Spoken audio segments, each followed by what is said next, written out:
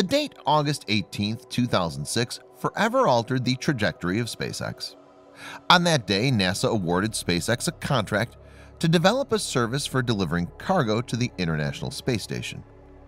The first generation version of the SpaceX Dragon spacecraft debuted in 2010 with a test flight in low Earth orbit. The Dragon capsule accomplished its first trip to the International Space Station in May 2012 on a second demonstration mission under NASA's Commercial Orbital Transportation Services or COTS program. Through the COTS program, NASA contributed $396 million towards the development of the Dragon spacecraft and Falcon 9 launcher in a public-private partnership with SpaceX. At the time, SpaceX was just four years old. The company had attempted a single launch of its Falcon 1 rocket from an atoll in the Pacific Ocean a few months earlier. This small rocket, capable of putting a few hundred kilograms into orbit, had flown for about half a minute before falling back to Earth and crashing into a reef just offshore. The rocket failed because, even before it cleared the launch pad, a fuel leak caused the engine to catch fire. This was hardly a sterling record for a spaceflight company. So, at the time, NASA was making a big bet on SpaceX.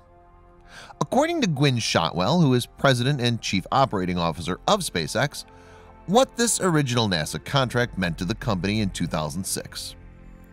Oh, that was really important money, she said. We were a little company. We were jackasses at that time. We just had a failure on the pad. We blew up a rocket in March of that year. Yeah, it was super critical. From my perspective, NASA was acknowledging that, even though we had a failure on Falcon 1, they felt like we had the right attitude and the right technology to extend this to a much larger rocket, the Falcon 9 and a capsule. Over the next half-decade, SpaceX would design, develop, and test its Cargo Dragon spacecraft. As usual, the company looked to cut costs and upend the traditional aerospace model. In this video, Engineering Today will discuss SpaceX Dragon capsule, which returned to Earth wrapping up a successful trip to International Space Station that heralded the end of one era and the start of another for its SpaceX builders. Let's get into the details.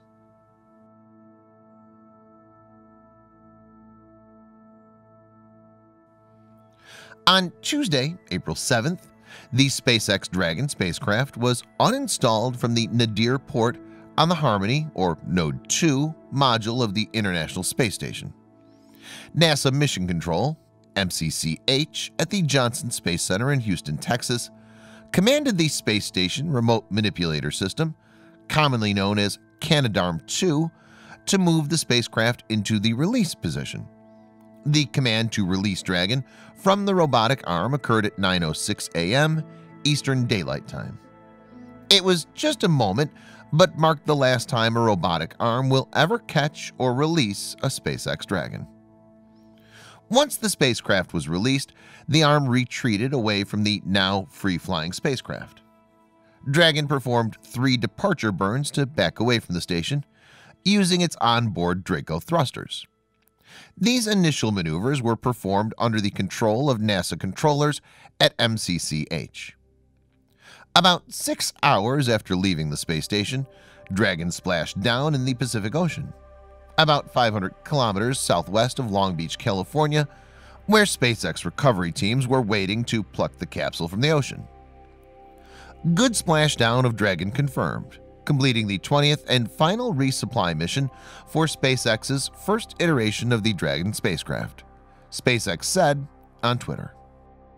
The SpaceX Dragon capsule launched to the station on the CRS-20 cargo mission on March 6th carrying more than 4,300 pounds of supplies, and arrived at the orbiting lab three days later. The same capsule previously flew to the station in February 2017 and December 2018. It returned with more than 3,950 pounds of cargo, including various pieces of hardware and equipment for maintenance and upgrades, as well as completed science investigations. One such investigation returning to Earth is the Bionutrients demonstration, which aims to produce essential nutrients in space to support long-duration human spaceflight. Also returning is the Biofabrication Facility, BFF, a 3D biological printer designed to take advantage of microgravity to print small and complex organ structures. The Engineered Heart Tissues EHTs study, which studies the function of heart tissue in microgravity with the hope of preventing medical problems on long-duration human spaceflight missions, is also on board the Dragon capsule. The mission is the last under SpaceX's original Commercial Resupply Services CRS contract, which NASA awarded in 2008. The contract originally included 12 flights for $1.6 billion. NASA later added eight missions to the contract. The agency has not disclosed the total value of the extended contract. CRS-20 was the third flight of the C-112 Dragon capsule, which previously supported the CRS-10 and CRS-16 missions. In total, the spacecraft spent 100 days in space across the three missions to the ISS. C-112 is one of three Dragon capsules to fly three missions, with three other capsules having flown two missions each. Over the last eight years, various SpaceX Dragon spacecraft have spent a total of 547 days attached to the space station, flown more than 990,000 pounds of cargo to the space station, and returned more than 77,000 pounds of science experiments and other cargo back to Earth. For this service, SpaceX offered NASA a pretty good bargain. According to the space agency's own analysis, NASA's investment in SpaceX bought a service that cost as much as 10 times less than the traditional cost plus contracting approach and two to three times less than the cost of continuing to fly cargo on the space shuttle.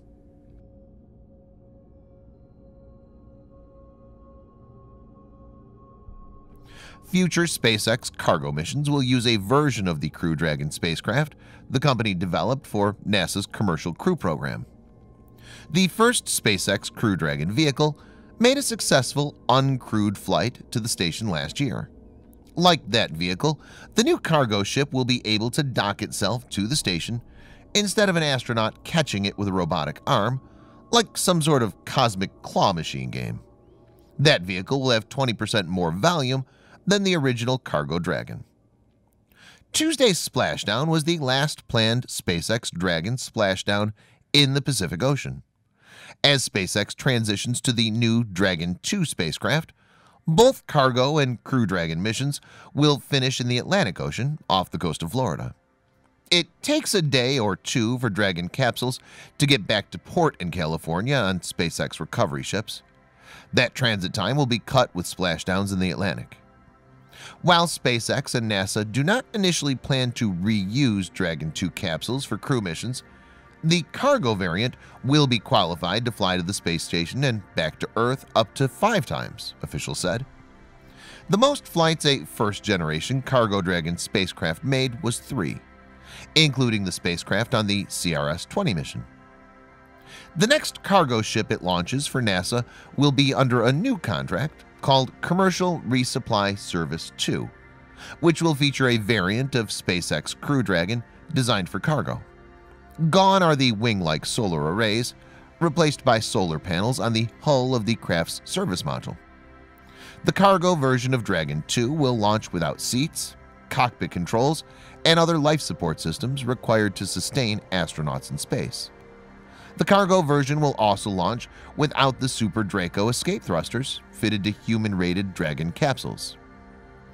This second CRS contract awarded to SpaceX, as well as Orbital ATK, now Northrop Grumman, and Sierra Nevada Corporation in 2016. The first SpaceX mission under that contract, CRS-21, is scheduled for this fall. Northrop Grumman started its flights under the new CRS contract in November 2019, launching two Cygnus spacecraft to date under the award. Sierra Nevada Corporation is building its first Dream Chaser spacecraft, which the company plans to launch in the fall of 2021. All three companies are guaranteed a minimum of six missions each under their contracts. This SpaceX Dragon 2 will be able to carry more cargo to the space station, but the Dragon 2's primary arrival mode, using docking rather than capture and berthing with a robotic arm, comes with a limitation. The hatches through the space station's docking ports are narrower than the passageways through the berthing ports currently used by Dragon cargo vehicles. Northrop Grumman's Cygnus supply ship and Sierra Nevada's Dream Chaser spaceplane are designed to berth to the space station, offering transportation for bulkier items.